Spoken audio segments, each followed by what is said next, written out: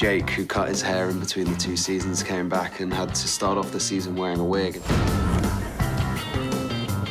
I was getting caught in this surfer, stoner, chiller vibe, and it was just like I couldn't take myself seriously anymore. I'd just like look in the mirror and be like, dude, you gotta change it up, man. My girlfriend made me cut it off, and then, then everyone's like, oh, it's Deran with a new haircut.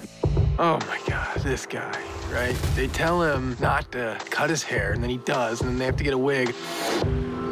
We were in Oceanside shooting, and I sat down in the makeup and hair trailer, and they were putting the wig on me, and they're like, should we tie this thing down? Because you're gonna be in the water. We should really have it secure. And I was like, I'm not gonna be surfing. I'm just gonna be sitting on the board. It's fine. He was going to surf in this wig after being told not to. Pretty nice wave came by, and I was like, hey, you know, I think I might try and jump on this wave. Feel my head. And I see Finn just like looking at me. Just seeing this man's face when he realized that he's lost an $11,000 wig at sea was quite hysterical. Some like dolphin sporting this beautiful blonde wig somewhere out there. I just want to change. Change to what?